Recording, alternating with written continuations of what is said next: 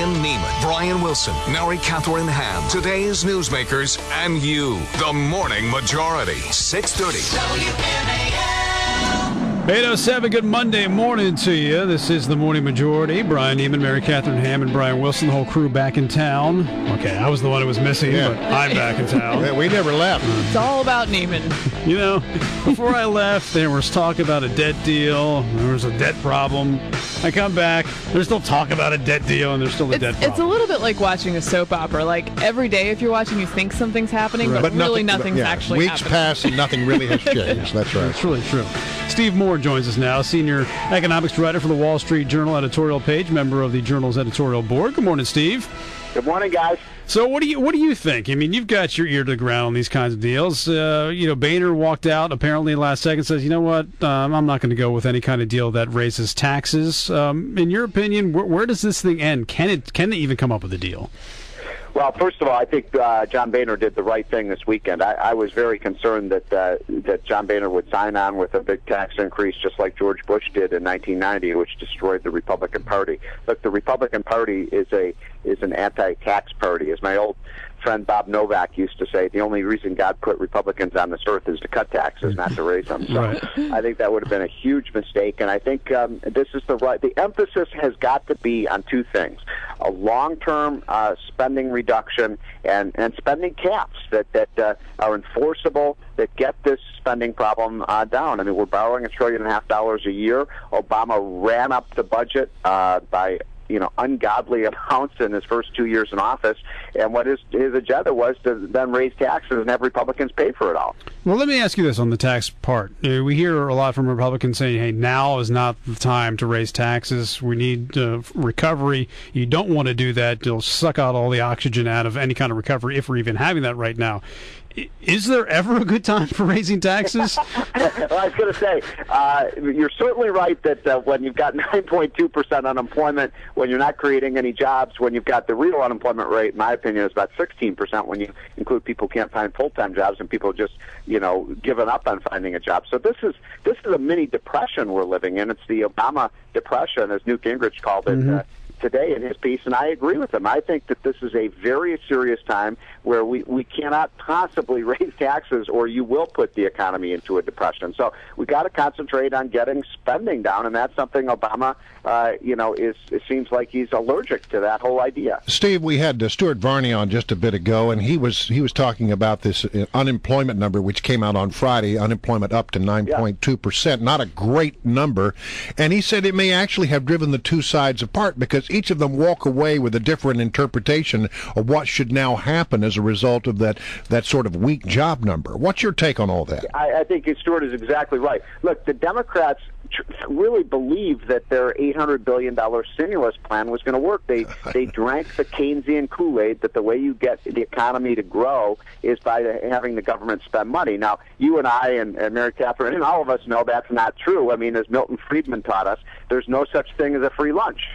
you know, if the government spends a dollar, the dollar has to come out of the productive private sector. There, there's no tooth fairy here. And so that the Democrats have concluded is they want another stimulus plan, Brian. I mean, they But want it- another $800 billion How- plan, how- which is insane. How many times does it have to fail? I mean, it's well, you know what? That's the that's uh, that's the interesting thing. It's it's almost like this kind of neuroses that no matter how many times it fails, they still come up with the uh, with the same prescription. And it's interesting. I just wrote an editorial comparing this quote recovery, and I, I put that in quotes now because I'm not sure we're in a recovery now with the Reagan recovery. At this uh, juncture of the Reagan expansion, the economy was growing at eight percent, and we were creating three hundred thousand jobs a month. You take half of that right now. wow. Yeah, exactly. I'll take a third of it. Yeah, right. It's amazing. Well, and the great political calculus here is that the American people won't buy this line from Obama, which I'm sure he'll bring out at 11 and say, We'll hear it again." the corporate jets and they need to pay their share and blah, blah, blah. But my gut feeling is that people need a down payment on any sort of adjustments made in the future. They're not going to believe you're going to cut anything if you bring tax hikes to the table.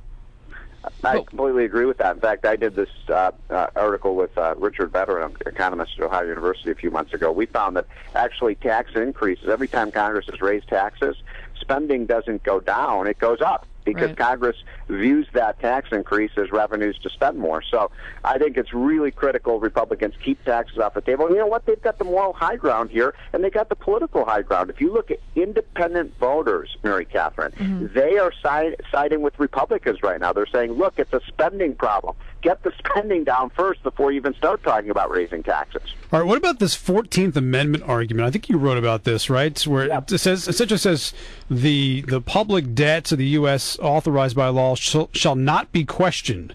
Some are saying that means that the president, I guess, has the authority to raise the debt ceiling if he wants without having to go through Congress. No, it doesn't no. mean that. You're right. Some people are saying that, but my interpretation, I've talked to a lot of legal scholars about this. What the 14th Amendment is saying is that the federal government can't cannot repudiate its debt. That is, it can't default.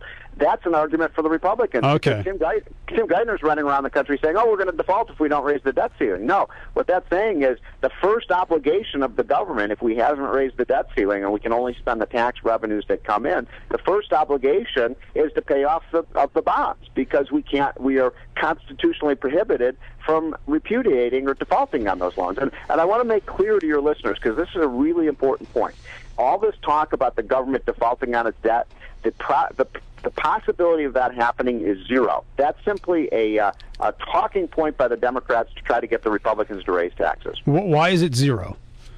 Zero. Well, it's not going to happen. There is not going to be a default on government securities under any scenario. Okay, so when we hear stories that hey, perhaps Social Security checks won't go out on time, well, or... you know, now look, that could happen. Okay, you know, you could. I mean, that would be. I don't think that would happen anytime soon. But at some point, you know, if this impasse went on for months, I don't think that's going to happen. Yeah, you know, Social Security checks might not be sent out, but that's different from defaulting on the debt because look, you don't. No one has a legal uh, a right to get a Social Security check.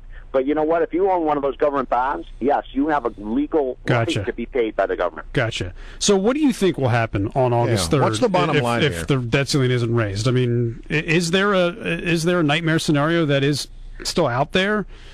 Uh, look, here's what I think is going to happen. I, I think they're so far apart that we may have a situation where we have a temporary shutdown in the government. And by the way, I think the when they say that they can only go to August 2nd, I've talked to a lot of people at Treasury Department. They say they think that the Treasury could go on for another month or so beyond that before they would technically not be able to borrow. But at some point, you do reach a cliff, and I think we will have a, a, a temporary government shutdown because the sides are too far apart. Uh, but I don't. That's not the end of the world. Look, if right. the Department of Energy closes down Brian. Yeah. Is that the end of the world? No, no, it's not. No, Department of Education. I, I think yeah. we'd be all right. We could live without it. I think it, it it's a little different. I, to me, it's a lot different than what happened in 2008 in September with the TARP vote. I mean, I, I know you were against TARP and you thought, hey, you know, things would, would bounce back, but there there seemed to be real concern in the economy and with investors and with everybody that hey, if these banks fail, we're in a whole lot of trouble out there. In this particular case, though, hey, if the debt ceiling isn't raised, it doesn't seem like there's that much. There, there's well, as much panic today as there was in September of 08. Yeah, but look, it's very serious business if we don't pass the debt ceiling. I mean, Tim Geithner's right. It's a serious thing. But you know what? If there's a more serious thing, and that is if we don't get the debt under control. Yeah. We look. It's very simple. We can't continue to be a global economic superpower if we're borrowing a trillion and a half dollars a year. It just doesn't work anymore. And this is the last point. Look, I feel like I, I'm going to wave the white flag of surrender and say, okay, it's over. If the Republicans cave on this, I'm leaving town, Mary Katharine. That's kind of how I feel. I'm like, this is if if you don't do it now, you're not going to do it. Right. Yep. Uh, yep. Steve Moore is my new hero. All right, Steve. It's always great to have you on the program. We appreciate okay. it very much. See you guys. Steve Moore, senior uh, economics writer, Wall Street Journal, here on the